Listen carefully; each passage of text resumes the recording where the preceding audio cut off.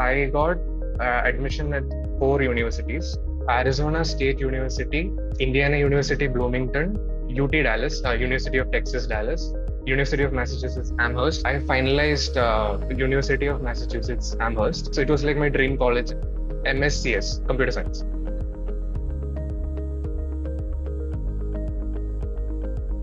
Uh, so my name is Pranav Balakrishnan. Uh, I come from Kerala. So after 12, I got admission into uh, BITS Pilani. Then uh, I faced some health issues due to which I had to I had dropped out and then I was uh, I was at home. So uh, I joined uh, this to continue the. I actually joined the first batch. And since then I was doing it. And then in uh, 2022, when companies started approaching us for internships, I had applied to the internships and I did an interview with uh, Savio. So I did a three month internship with them as a data science intern. They were willing to hire me as a data scientist. I started working there. Last year, around March, I decided that I wanted to pursue masters abroad. Uh, so I had talked to my managers and um, I told them that you know I need some more time to prepare. So I, I, I had resigned from the job and I wanted to prepare full time. I approached the my previous manager and also the director of the company to give me a recommendation letter. Uh, so along with that, and then SOP, uh, statement of purpose, and my GRE and TOEFL, I submitted applications. I got admission at four universities: Arizona State University, Indiana University Bloomington, UT Dallas, uh, University of Texas Dallas, University of Massachusetts Amherst. I finalized uh, University of Massachusetts Amherst. So it was like my dream college, MSCS, Computer Science.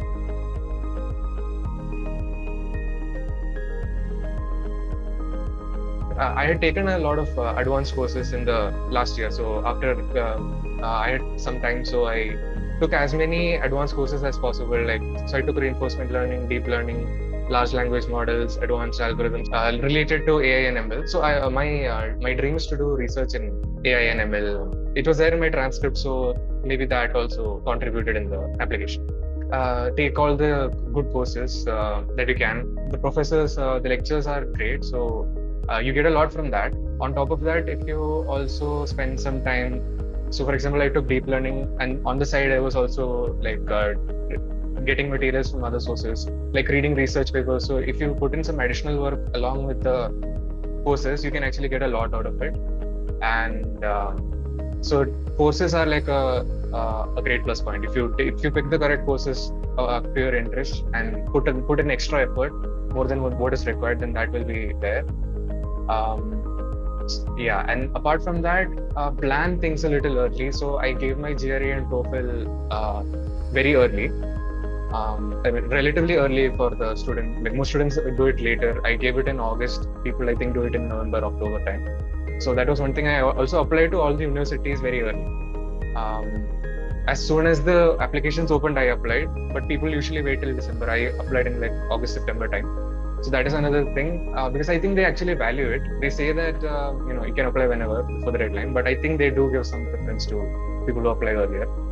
Then um, that is one tip. Uh, GRE, even if it's optional, uh, some universities say it's optional, but if you give it, it's an additional uh, signal that you can send to them that you're good. If you can get a good score in GRE, that is definitely a plus point. Uh, in GRE, like the maths section is relatively fine, but English is hard so um, yeah you, you should uh, ideally prepare english in gre yeah sop is also very important. Um, make sure that uh, you write the entire uh, story. So for example i dropped out. So it's better to actually address it in your sop rather than just not talking about it.